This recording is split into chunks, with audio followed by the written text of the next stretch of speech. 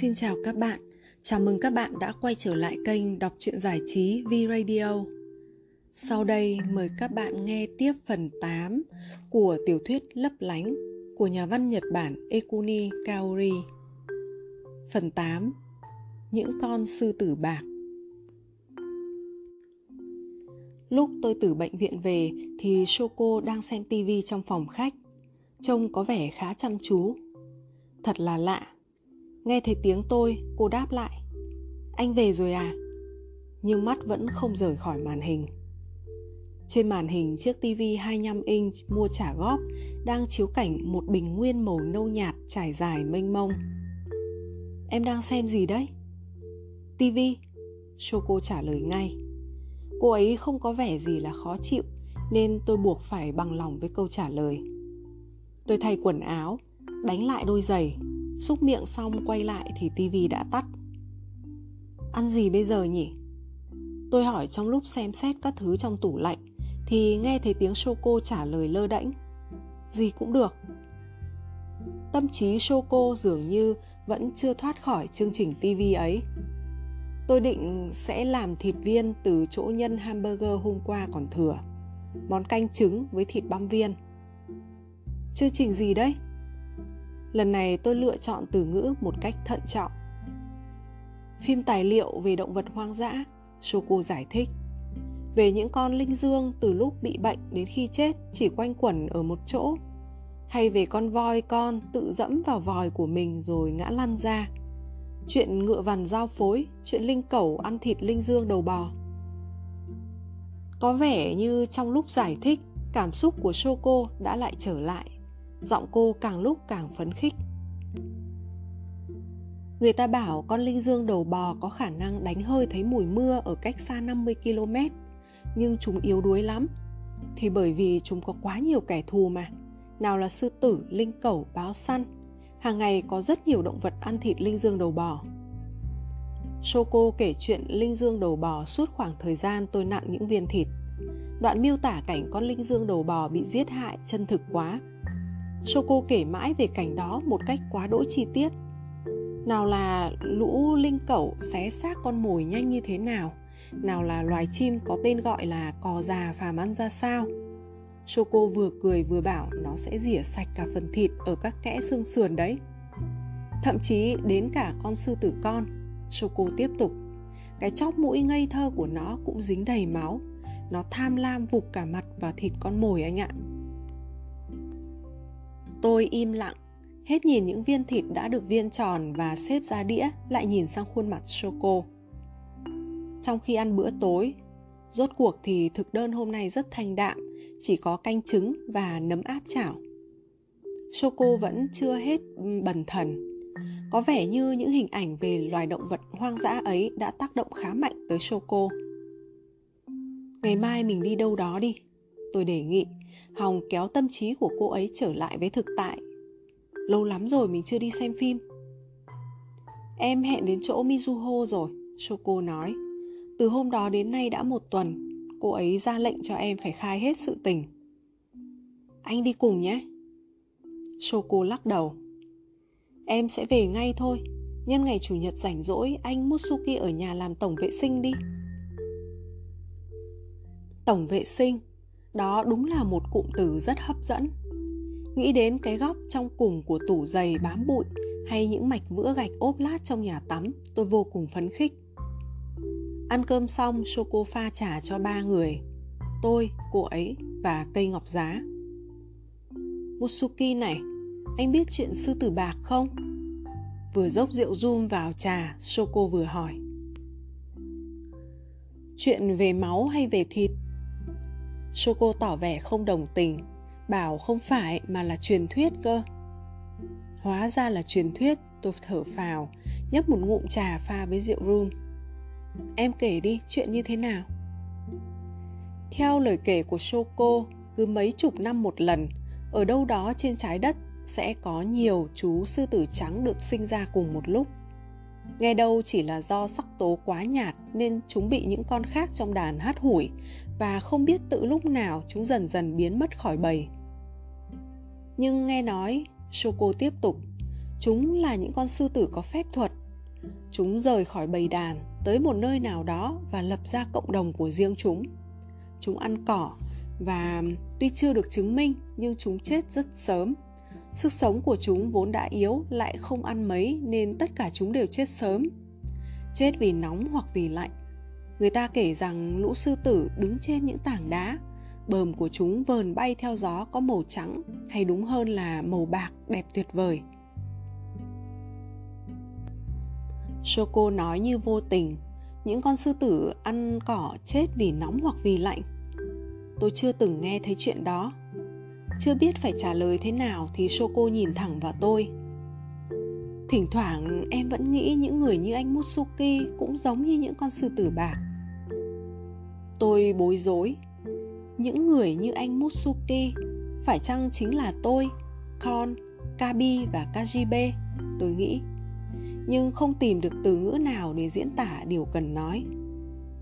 Shoko uống một hơi chỗ trà pha rượu rum đã nguội ngắt, rót cốc còn lại cho cái cây. Cái cây của con có vẻ thích loại hồng trà pha với một thìa đường và nửa thìa rượu rum. Sáng hôm sau, Choco ra khỏi nhà từ lúc 10 giờ nên tôi bắt tay và dọn dẹp ngay. Trên nền nhà của Bách, tôi cọ xong bồn tắm và nồi niêu, lau sạch nhà sau khi đã hút bụi. Đang hăng hái định chùi nốt cửa sổ thì điện thoại reo. Điện thoại của bố tôi. Bố đang gọi từ nhà ga, ông nói. Bố ghé qua một lát có tiện không? Bố về ngay thôi. Không, bố ăn cơm rồi.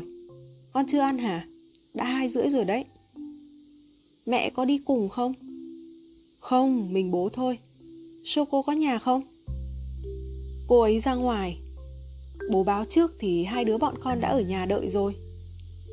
Nào phải khách khứa gì đâu. Ông nói rồi cười bối rối. Tôi vừa dập điện thoại thì Choco về. Quà cho anh. Cô nói rồi dơ ra con cá vàng trong túi ni lông. Cô giải thích rằng ở người ta họp chợ cây cảnh ở cạnh nhà Mizuho lại có cả quầy bán cá cảnh nữa. Ai chả lâu rồi mới lại thấy cá vàng. Gần đây Shoko quan tâm nhiều hơn tới những sinh vật sống. shoko lấy từ trong túi trên cái váy yếm ra hộp thức ăn cho cá và đặt lên bàn. À, bố nói đến chơi em ạ. Tôi vừa thả cá vào cái bát tô vừa nói. Bao giờ ạ? Choco ngạc nhiên hỏi. Tôi nhìn đồng hồ. Khoảng 5-6 phút nữa, tôi trả lời. Mặt Choco trao lại, nghĩ ngợi chừng vài giây, rồi bảo em ra ngoài một lát và đi ra cửa. Cô xỏ vào đôi giày vừa tháo ra và mở lại cánh cửa vừa đóng vào ban nãy. Em đi đâu đấy? Em đi mua ít bánh. Thôi khỏi, không cần đâu, tôi nói. Choco lắc đầu. Mizuho bảo em là bình thường cũng nên chuẩn bị sẵn ít bánh kẹo để mời khách đến chơi. Em thì chẳng bao giờ để tâm đến chuyện đó, nên bố mẹ anh Mutsuki đến chơi lúc nào cũng chỉ có mỗi trà, không thì dưa chuột hay cà chua, cá tuyết nướng phô mai, toàn những thứ mà mình thích ăn. Toàn dưa chuột, cà chua hay cá tuyết nướng phô mai thôi. Không sao, không cần bận tâm đến mấy thứ đó đâu. Lần nào cũng chỉ có vậy thôi mà giọng Shoko cả quyết. Hôm nay em bị Mizuho thuyết giáo nhiều lắm. Cô ấy bảo em phải coi đó như những lời trăng chối của cô ấy. Mizuho đúng, đúng là một người bạn tốt. Tôi không ngăn cản Shoko nữa. Em nói cứ như là Mizuho chết rồi ấy. Làm gì có chuyện đó? Shoko nói rồi cười. Làm gì có người chết nào lại thích thuyết giáo đến thế? Mizuho còn bảo em à, chưa xác định đầy đủ tinh thần làm vợ nữa. Rồi là cái cần thiết với em không phải là kiến thức làm vợ mà là việc xác định tinh thần. Chết thật bố đến bây giờ mất. Shoko nói rồi ra khỏi nhà. Shoko vừa đi thì bố tôi đến. Một ngày chủ nhật bận rộn. Bố không gặp Shoko ạ? À? Không, bố tôi nói. Mái tóc cắt ngắn có đến 70% là sợi bạc. Thế thì chắc cô ấy đi theo lối có tuyến xe buýt. Cô ấy vừa về nhà đã lại đi mất. Tại con bảo bố sắp đến. Chắc cô ấy sắp về ngay đấy ạ. Tôi vừa pha cà phê vừa nói. Làm gì mà con cứ phân trần thế? Câu nói của bố khiến tôi thấy ngượng. Nhưng có khi thế lại hay. Bố có chuyện muốn nói với con. Bố tôi thu hai chân, ngồi ngay ngắn ở mép ghế sofa. Sao? Cuộc sống hôn nhân thế nào? Bố tôi nhất định không chịu lật ngửa ván bài. Có vẻ ổn ạ. Thế à? Bố tôi nói, cầm lấy cốc cà phê bằng hai tay, ông rụt cổ, vẻ không thoải mái. Ở đây cứ như bệnh viện ấy nhỉ? Bệnh viện?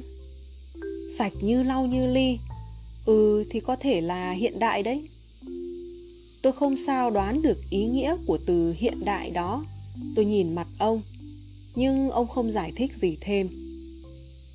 Con khỏe không? Cậu ấy khỏe, tôi trả lời. Thỉnh thoảng cậu ấy cũng đến đây chơi. Đến đây? Vâng, chủ yếu là đến gặp Choco chứ không phải con.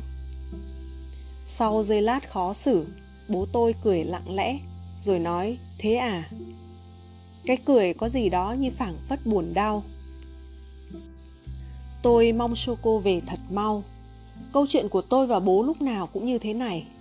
Không thể nắm bắt nổi. Từ xưa đã vậy rồi.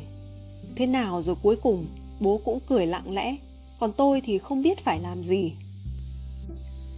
Shoko rất quý con. Cô ấy nói hai người hợp nhau. Con cũng có vẻ không đến nỗi nào. À, cái cây này là của con tặng. Quà mừng đám cưới, tên là cây ngọc giá. Con cho bố xem chưa nhỉ? Để lấp khoảng trống, tôi cứ thế thao thao bất tuyệt. Bố có biết sư tử bạc không? Những con sư tử có sắc tố nhạt hơn đồng loại, lông màu bạc, vì hình thức khác với bầy đàn nên bị các con trong đàn xa lánh.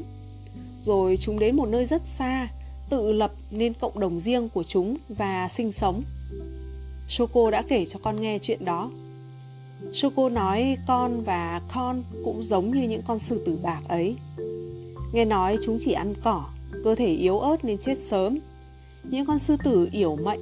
Ý tưởng này của Shoko thật là độc nhất vô nhị, phải không bố? Tôi cười. Vừa cười vừa thấy mình xa lầy. Thà bị mẹ tôi dồn ép thế này thế nọ còn dễ chịu hơn. Bố tôi không cười.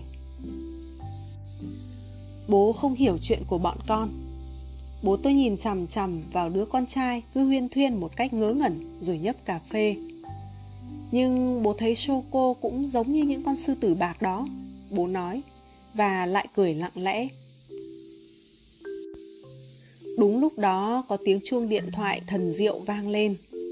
Tôi lao tới ống nghe như được cứu sống. Mutsuki Tôi có cảm giác như lại nghe thấy giọng của người yêu sau cả trăm năm. Em đang ở đâu thế? Shoko bỏ ngoài tai câu hỏi của tôi. Thạch nước và bột lọc ừ, bọc đậu đỏ, cái nào anh thích nhỉ? Cô nói. Sao hả anh? Shoko nhắc lại câu hỏi. Loại nào cũng được. Thật lòng tôi nghĩ vậy, nhưng thấy Shoko im lặng nên vội chữa lại là thạch nước. Thạch nước hơn em ạ, chắc chắn là thạch nước rồi. Thế ạ? À? Shoko bằng lòng và chúng tôi dập máy. Nhờ cuộc điện thoại đó mà tôi thay đổi được một chút thế trận. Lần này tôi hỏi bố, mẹ khỏe không ạ? Khỏe, bố tôi chớp mắt hai ba cái, đáp. Bà ấy lúc nào mà chẳng khỏe. Quả đúng thế. Hôm nay bố đến đây là giấu mẹ con đấy. Bố tôi hơi cúi xuống, nói với một nụ cười khó giò. Con biết. Shoko có vẻ là một người vợ tốt đấy chứ. Vâng, tôi đáp. Bố nhìn tôi, không nói gì rồi lại nhìn xuống tách cà phê. Đó là kiểu chê trách không lời. Con biết, một lần nữa tôi tự nói với chính mình như thế. Đúng lúc tình thế lại sắp sửa xấu đi thì Choco về, tựa như một vị cứu tinh. Bố vừa đến chơi, bố tôi nói. Choco cúi đầu đáp lễ. Lâu lắm mới gặp bố, mẹ có khỏe không ạ? Câu chuyện quay lại từ đầu. Tôi đi vào bếp pha trà. Sau lưng tôi nghe tiếng bố nói như phân trần. Bố chỉ định ghé qua các con một lát. Thôi khỏi bận tâm làm gì, bố về bây giờ đây. Tại bà ấy đi ra ngoài nên bố có chút thời gian. Trong ánh nắng hắt xiên vào bếp, con cá vàng nhỏ đang bơi trong chiếc bát thủy tinh đặt trên bồn rửa con cá vàng bị ngăn cách hoàn toàn với thế giới bên ngoài khẽ quẫy thân mình màu đỏ với vẻ khoan khoái và bộ mặt vô can trong làn nước. Thật nhàn tản. Chúng tôi uống trà xanh, ăn thạch nước và nói những chuyện nhẹ nhàng về các loại cảm cúm mùa hè hay giá quả anh đào. Tôi có cảm giác là từ lúc Choco về, bầu không khí trong phòng bỗng trở nên dễ chịu hơn. Vị thạch nước mát lạnh ngọt nơi đầu lưỡi. Bố tôi có vẻ bồn chồn, bối rối. Bí mật lời trăng chối của mizuho được giải đáp sau lúc trời tối. Có vẻ ý định làm cho da nhẽ đã kết thúc trong thất bại. Em tuyệt giao với mizuho rồi shoko nói. Tuyệt giao?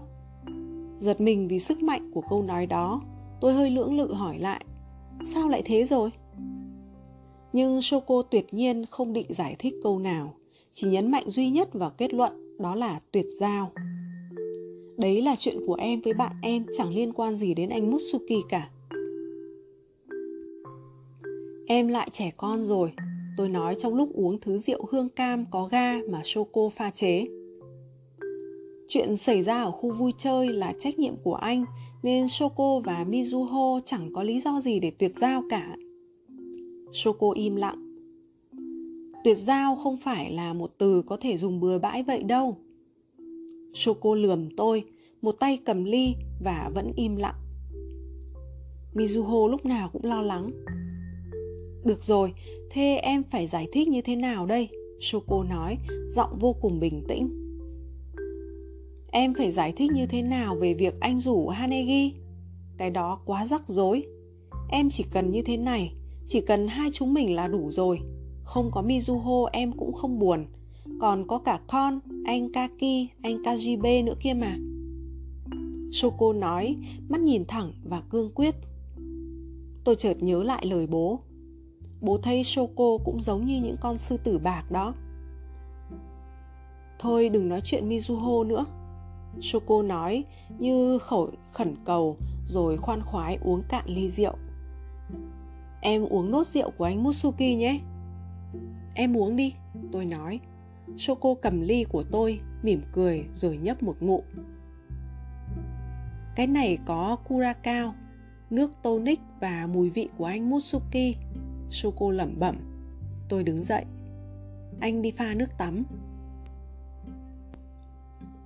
Có thể chuyện đó chẳng là gì với một người đơn giản như Shoko nhưng đôi khi tôi cảm thấy hoang mang trước những lời nói vô tư ánh mắt tin cậy và nụ cười của Shoko những tình cảm mà tôi không có duyên được hưởng. Vì sao Shoko có thể quyết định dễ dàng đến vậy? Liệu cô ấy có nhận ra rằng mình đang mỗi lúc một rời xa khỏi những thứ cô ấy hằng quý trọng, những nơi trốn có những con người cô ấy hằng yêu mến như bố mẹ và mizuho? Bồn tắm, mắt choco ánh lên vẻ tinh nghịch. Anh này, hay mình đổ đầy bồn tắm rồi cho con cá vàng vào thử xem sao? Làm bể bơi cho cá, rồi ghi lại xem nó bơi từ đầu này đến đầu kia mất bao lâu. Giống như là ghi chép sự sinh trưởng của hoa bìm bìm ấy, để xem liệu hết hè nó có những tiến bộ chừng nào. Độc đáo đấy, nhưng như thế vui mà. Choco đang hào hứng. Sự hào hứng ấy có cái gì đó ngắn ngủi tới mức đau đớn chuyển nhiệt độ về phía cold rồi vặn vòi. Tôi nghe tiếng Choco hát ngoài phòng khách hòa lẫn với tiếng nước chảy ồ ồ. Hỡi chú cá vàng vận kimono màu đỏ. Mở mắt ra đi ta cho chú mày ăn. Tôi nghĩ mình nên gặp mizuho nói chuyện. Cần phải giải thích rõ ràng và tất nhiên là phải nói chuyện với bố mẹ Shoko nữa. Có lẽ đã đến giới hạn rồi. Anh Mutsuki, Shoko gọi to. Có ăn thử thức ăn của cá không? Nó hôi, khô khốc, vị dở lắm, nhưng em nghĩ có thể hiểu được một chút cảm giác của con cá vàng.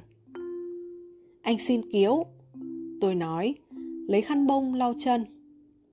Khoảng 15 phút nữa nước sẽ đầy bồn. À, còn phải làm cái biểu đồ tôi nghĩ mình sẽ làm một cái biểu đồ đường gấp khúc để có thể chỉ nhìn một cái là thấy được sự tiến bộ của con cá vàng và tặng cho Choco. Trong làn nước mát, hẳn con cá vàng sẽ bơi lội một cách duyên dáng. Hết phần 8, mời các bạn đón nghe phần 9.